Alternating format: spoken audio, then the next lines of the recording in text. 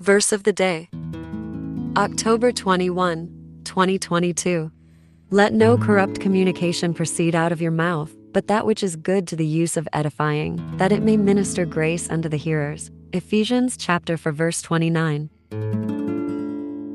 Inspiration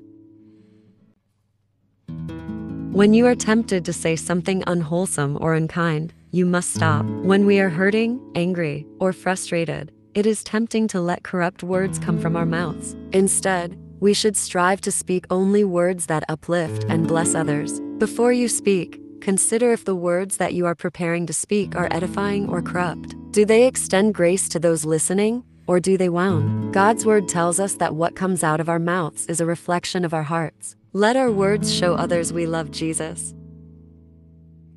Let us pray.